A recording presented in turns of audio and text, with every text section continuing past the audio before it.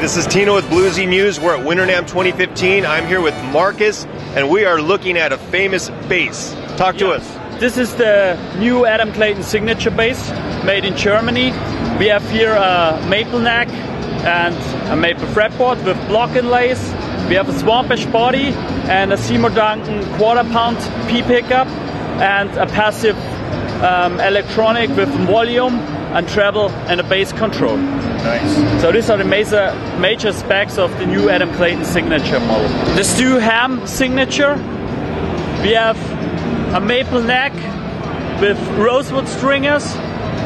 Then we have a rosewood fingerboard and a special Stu Hamm neck shape, which is really slim. On top we have the EMG pickups, which here we have a humbucker, here we have a J pickup. We have EMG two-way electronic and the the difference to other Warwick basses is that you have here more access to higher register and also the upper horn is more going the direction of the 12th fret for a, a different balance, what Stu was requesting. So this is the Stu Hamm signature. And one more new is the LWA 500. This amp is a 500 watt amp. Small, maybe two pounds. Check it out. Marcus, thank you very much. Tino, Bluesy News, we're at NAMM 2015.